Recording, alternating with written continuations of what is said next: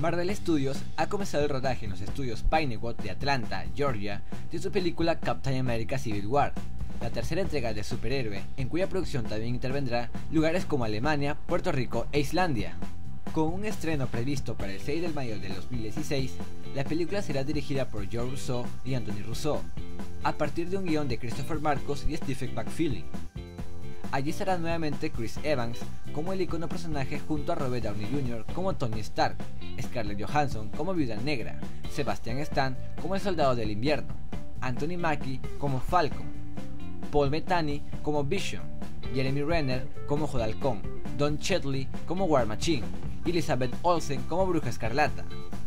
Además, y tras su debut en la película de Marvel Studios, Atman, Paul Roth hará su primera aparición junto a los Vengadores como Scott Lang en esta tercera entrega de Capitán América.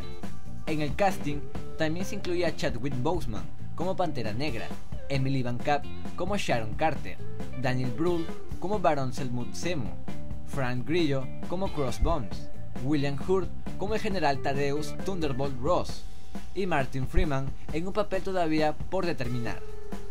Respecto a su historia, la película comienza donde quedan Vengadores la Era de Ultron, con Steve Rogers liderando un nuevo equipo de Vengadores en sus continuos esfuerzos por salvaguardar la humanidad. Tras otro incidente internacional que involucra a los Vengadores y que conlleva daños colaterales, aumenta la presión política para instalar un sistema de rendición de cuentas y un órgano de gobierno para determinar cuándo se debe contar con los servicios del equipo de superhéroes. La nueva dinámica establecida divide al equipo de los Vengadores en su intento por proteger al mundo de un nuevo y perverso villano. Y bueno amigos, ¿a ustedes qué les pareció esa noticia? Al parecer esta será una película super poblada de personajes, veremos cómo los manejan.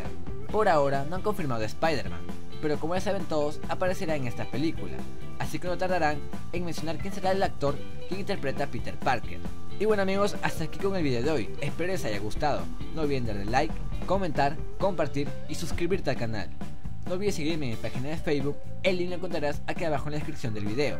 Nos vemos hasta el próximo